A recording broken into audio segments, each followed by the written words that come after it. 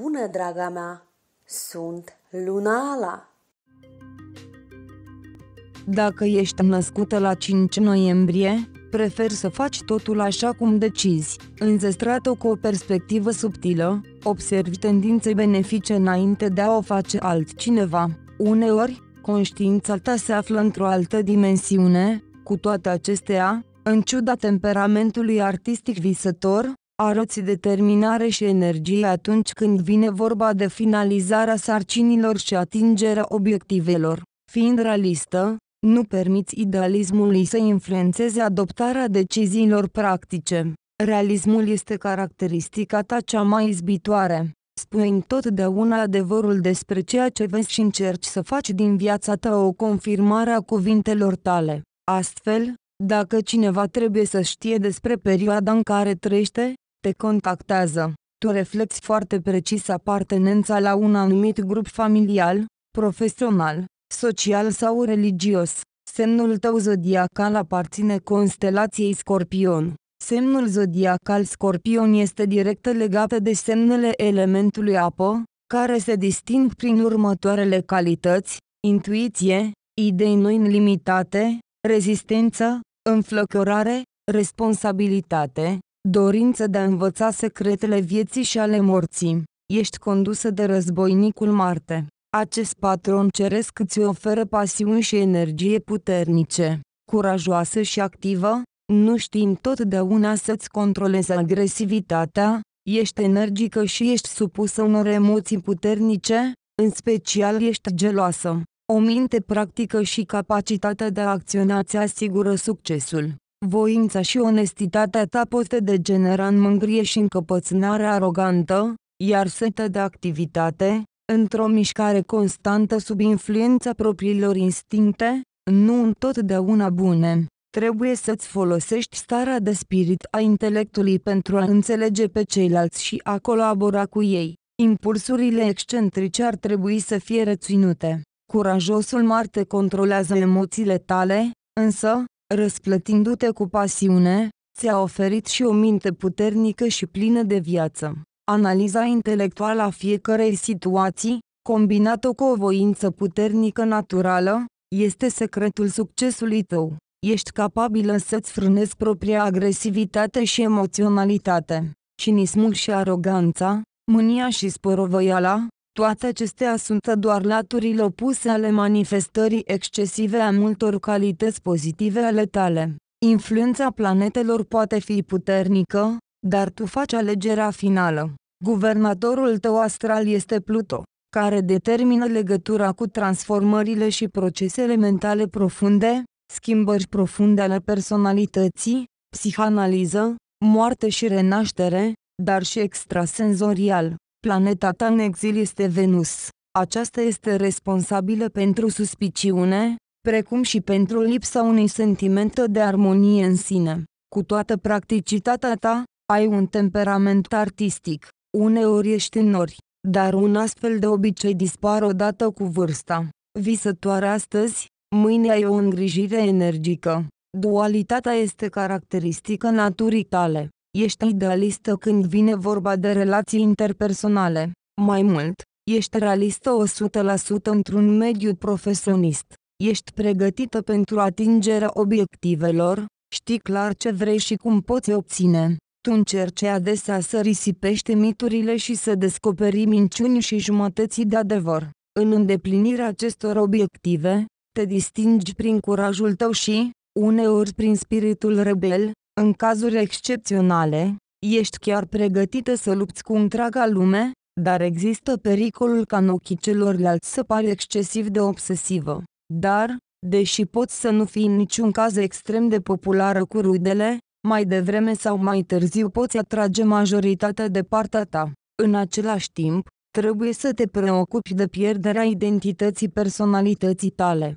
Trebuie să lupți pentru a-ți păstra individualitatea dacă cineva din mediul tău încearcă să te strecoare în cadre stricte definite.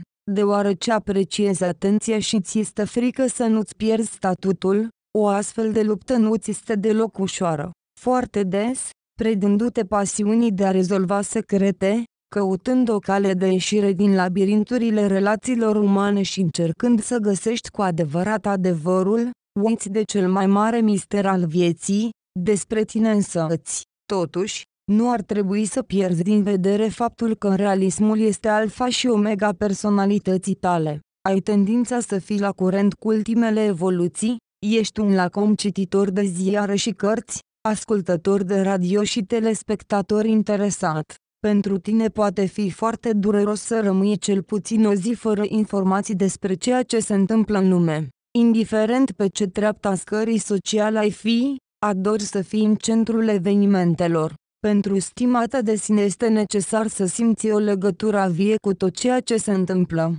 Cu toate acestea, la un moment dat în viața ta, poți prefera singurătatea și te poți dedica vieții personale. Te distingi față de alții nativi din Scorpion prin astfel de trăsături speciale, ești complexă, misterioasă, decisivă, nemiloasă, emoțională, înțeleaptă. Te plictisești să fii într-o relație stabilă, egală, ai nevoie constantă de emoții și experiențe noi, așa că dacă un partener nu îți dă aceste emoții, aranjezi câteva scene sau cauți un nou obiect de dragoste.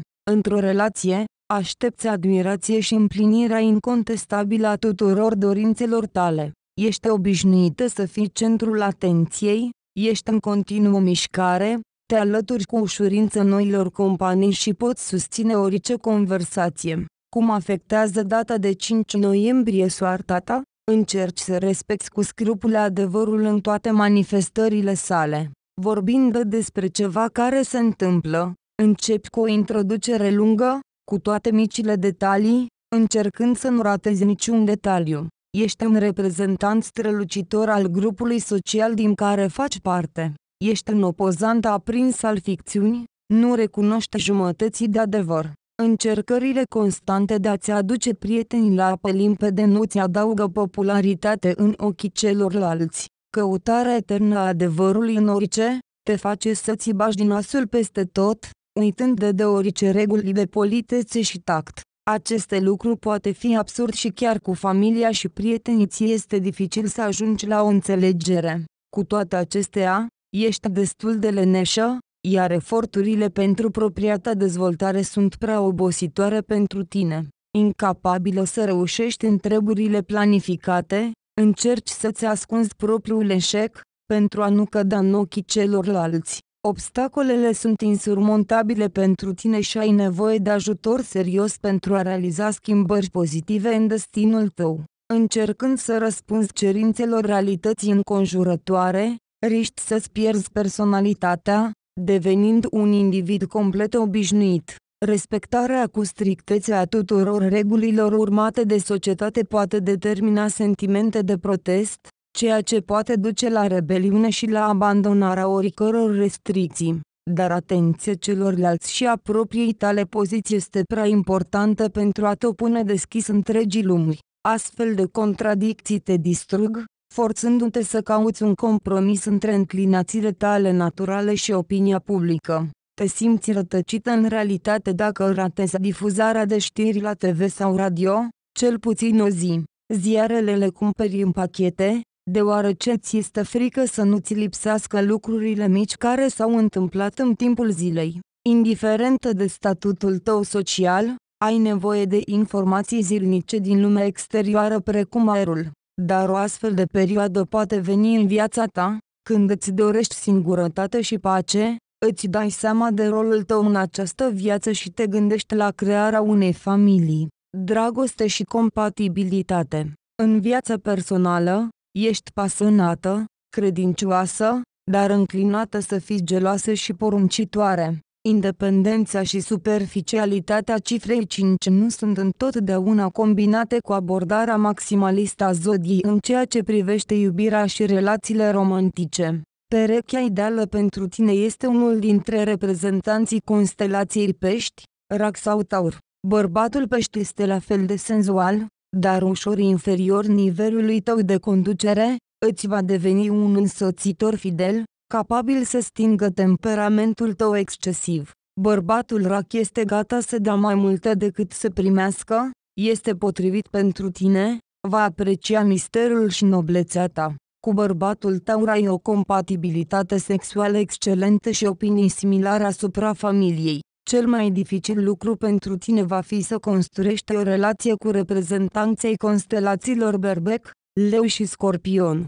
În oricare dintre cazuri, ca doi lideri născuți, veți lupta constant pentru putere în cuplu, ceea ce va duce mai devreme sau mai târziu la finalizarea romanului. Nimeni nu va dori să facă concesii sau să depună armele. Cu toate acestea, în aceste cazuri este posibil un roman scurt, dar viu și pasional. Bărbatul gemeni este independent și instabil, iar tu ești neobișnuită de geloasă. Cu alte cuvinte, această alianță este un adevărat amestec exploziv. Multe lucruri te pot lega de bărbatul fecioară, în primul rând caracteristici comune precum onestitatea, dorința de dreptate, simțul datoriei.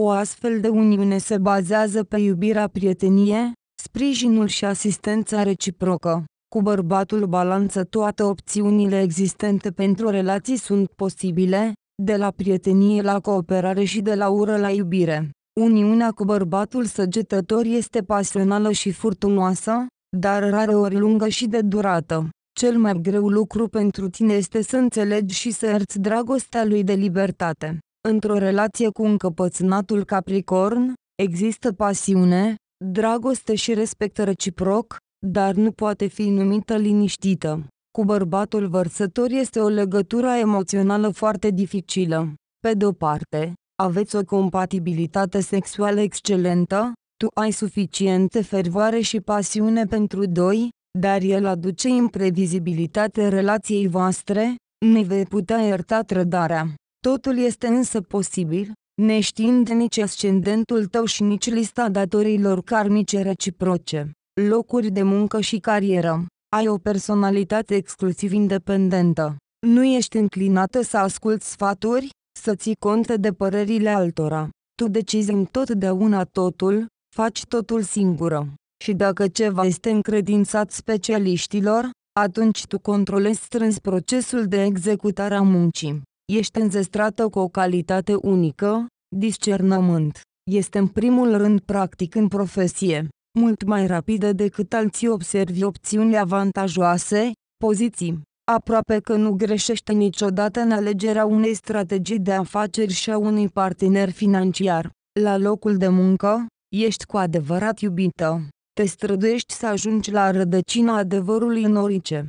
Propriile tale cuvinte nu merg niciodată greșit. Aceasta contribuie la formarea unei anumite reputații. Poți deveni adesea o autoritate în echipă, iar aceste lucruri te flatează. Puterea informală a ta nu strică, ci stimulează doar dezvoltarea ulterioară. Te simți confortabil în pozițiile de conducere, dar cu greu faci o carieră rapidă. Poți lucra ani de zile pentru a atinge o poziție managerială. Sănătate și boli. Cea mai importantă pentru sănătatea ta este păstrarea echilibrului mental. Conflictul cu sine este cel mai rău lucru care ți se poate întâmpla. Înclinația ta de a te dedica serviciului altora, căzând uneori sub autoritatea lor, provoacă îngrijorare. Doar timpul, și poate terapia specială sunt necesare pentru procesul de cunoaștere de sine. Ești conștientă de ultimele cercetări medicale, dar este mai bine să urmezi un tratament verificat de generații, mai degrabă decât să te repezi la un remediu la modă sau altul. Lacurile tradiționale, dieta, vitaminele și suplimentele sunt cele mai potrivite pentru tine. De exemplu, te poate ajuta o dietă simplă echilibrată, axată pe utilizarea de cereale, legume proaspete și o cantitate limitată de proteine. Activitatea fizică moderată, mersul zilnic, notul, este recomandată. Sporturile extreme, activitățile recreative și profesionale riscante nu sunt cea mai bună alegere pentru tine. Destinul și norocul.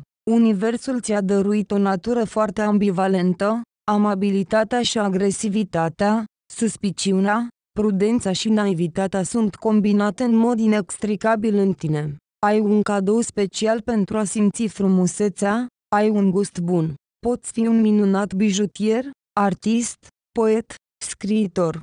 Caracterul tău este complex, viața ți este de obicei agitată, îți place să călătorești, ai o nevoie constantă de experiențe noi, ceea ce contribuie la faptul că îți poți schimba adesea locul de reședință, ocupația, această inconstanță împiedică crearea unor condiții de viață mai confortabile. Trebuie să înțelegi ce îți dorești și, având obiective stabilite, să te străduiești pentru tine. Sfaturi pentru tine. Realismul este forța personalității tale. Încearcă să te depășești și să stabilești contacte cu societatea. Nu te neca în vocea interioară. Nevoile tale trebuie să fie la termen și să nu contrazică ideile societății. Îmbunătățește-te ca persoană și nu-ți fie frică de schimbare. Pentru a evita dezamăgirea, ar trebui să selectezi cu atenție cercul de prieteni. Nu un orice prieten, cunoscut, coleg, poți avea încredere. Ce cadouri ți se potrivesc? Pentru tine, pe locul 2 ca importanță după sex, sunt cadourile. Într-o asemenea măsură încât ți le faci în mod regulat singurică. Dar aceste lucruri nu scutește pe cei dragi de nevoia de a-ți oferi cadouri pentru și fără motiv.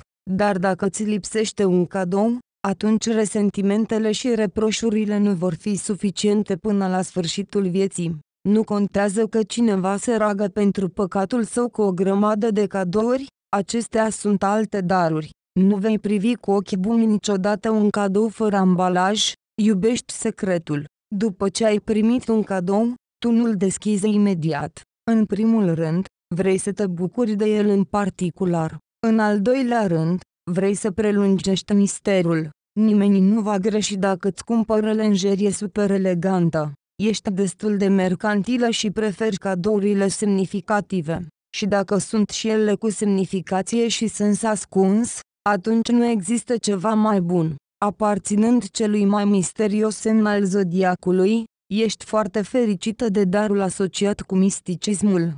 Energia fascinantă și inconsecvența caracterului implică nevoia de intrigă și originalitate din partea celor dragi. În caz contrar, îți pierzi pur și simplu interesul pentru ceilalți. Un cadou neobișnuit cu un indiciu de erotism va fi adecvat. De exemplu, lenjerie neagră din piele sau latex, îmbrăcăminte și accesorii confecționate din piele autentică, mănuși, curele, genți elegante. Atunci când ți se aleg haine, este important să ghicească dimensiunea. Cea mai bună cale de a ieși din situație ar fi un plic cu bani sau un card cadou către un magazin de încălțăminte, un butic cu haine la modă. La fel de bine un cadou poate fi un bilet pentru o sesiune ezoterică, o cutie imensă cu un set magic, o figurină de cristal. Merită ca cel care oferă să aibă grijă în prealabil de ambalarea cadourilor. De exemplu, o cutie de catifea nu este suficientă pentru un colier cu perle. Este mai bine să fie înfășurată în hârtie roșie și legată cu o panglică neagră. Un smartphone, o tabletă este un cadou bun pentru tine, cu condiția ca acest gadget să fie complet absent din inventarul tău sau să fie actualizat. Nu este necesar să spun că trebuie să aleagă cele mai noi modele, îmbunătățite și funcționale. La prima vedere, poți părea oarecum sumbră, dar nu este așa. Ești atât de energică și de sexy, încât după ce ai primit un cadou cu adevărat uimitor, ești capabilă să-l răsplătești pe cel care dăruiește într-o manieră unică pentru el. Prin urmare, este mai bine să ți se aleagă cadouri pe teme marine sau de apă. Culoarea prezentărilor poate fi diferită, dar este mai bine să acorde preferință albastru, cian, turcoaz, violet, verde. Un inel cu acvamarine sau turcoaz este un cadou minunat pentru tine. Produse de blană, paltoane de blană scurte, pantofi cu garnituri de blană, diverse accesorii decorate cu blană le vei aprecia. Nu vei renunța la lucrurile cu dantelă, poate fi fie o față de masă cu dantelă, fie un set de lenjerie franceză scumpă. Este clar că toate recomandările sunt destul de arbitrare. Cel ce dăruiește trebuie să se gândească la ce cadou este cel mai bine să-ți ofere. Stelele doar adaugă câteva sfaturi. Acesta este un portret general pentru tine. te vei descoperi cu adevărat într-o astrogramă natală în care vei afla predispozițiile pentru întreaga viață, așa cum ți le-au dăruit ursitoarele tale.